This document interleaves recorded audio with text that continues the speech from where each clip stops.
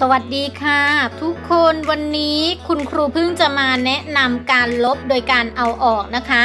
เราจะเขียนประโยคสัญลักษณ์การลบกันค่ะ ก่อนจะไปชมคลิป อย่าลืมกดกระดิ่ง กดไลค์กดแชร์ และที่สำคัญมากๆ อย่าลืมกดติดตามเพื่อรับชมสาระความรู้ดีๆ ที่คุณครูเพิ่งจะมีให้ดูกันเป็นประจำนะคะ พร้อมแล้วมาดูกันเลยค่ะ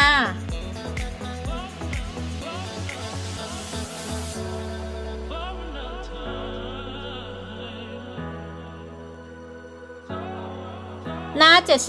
74 ข้อ 3 เขียนประโยคสัญญลักษณ์การลบ มีตัวอย่างมาให้นะคะ นับทั้งหมดค่ะ 1 2 3 4 5 มีอยู่ 5 เอาออกไปเท่าไหร่คะ 1 2 เอาออกไป 2 ก็ลบด้วย 2 นะคะ นับที่เหลือค่ะ 1 2 3 เหลือ 3 เขียนประโยคสัญลักษณ์การลบได้ว่า 5 ลบ 2 เท่ากับ 3 ข้อ 3.1 นะคะ นับทั้งหมดค่ะ 1 2 3 4 มีอยู่ 4 ค่ะ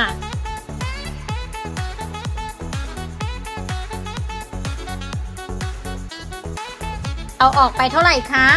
1 2 3 เอาออกก็ต้องทำวิธีอะไรคะ ลบก็คือ ลบ3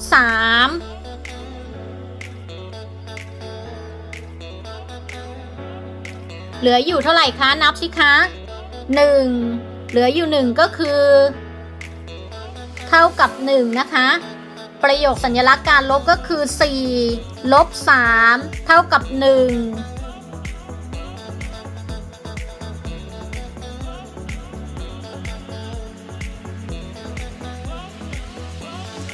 ข้อ 3.2 นับทั้งหมดค่ะ 1 2 3 4 5 6 7 มีอยู่ 7 นะคะ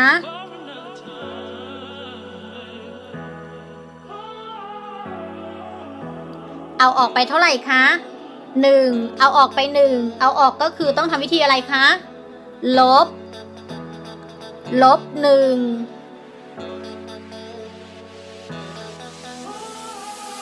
เหลือเท่าไหร่คะ นับที่เหลือเลยค่ะ 1 2 3 4 5 6 เท่ากับ 6 ก็จะได้ 7 ลบ 1 เท่ากับ 6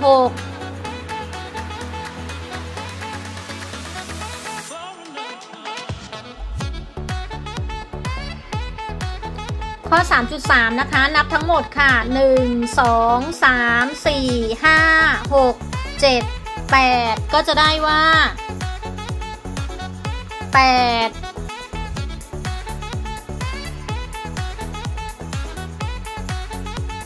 เอาออกไปเท่าไหร่คะนับ 1 2 3 4 5 6 เอาออกก็คือลบใช่ไหมคะ ก็ลบ 6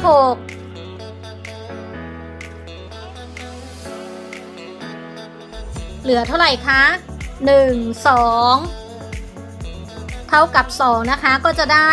8 ลบ 6 เท่ากับ 2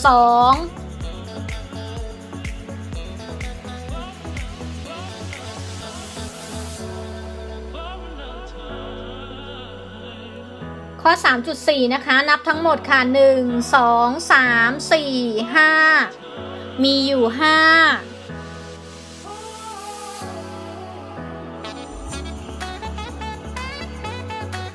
เอาออกไปเท่าไหร่คะ เอาออกไปหมดเลยก็คือเอาออกไปเท่าไหร่ 5 ก็ ลบด้วย 5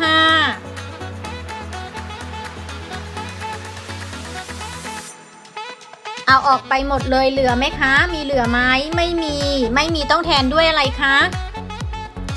0เท่ากับ0นะคะ5ลบ5เท่ากับ0 เป็นยังไงบ้างคะสำหรับการลบโดยการเอาออก โดยการเขียนประโยคสัญลักษณ์การลบง่ายมากๆเลยใช่ไหมคะ ถ้าชอบสาระความรู้ดีๆ แบบนี้อย่าลืมกดติดตามนะคะ แล้วพบกันใหม่ค่ะ สวัสดีค่ะ อยากเก่งคณิตคิดถึงคุณครูพึ่งกดติดตามกันด้วยนะคะทุกคน และอย่าลืมกดกระดิ่งเพื่อจะได้ไม่พลาดคลิปใหม่ต่อๆไปนะคะ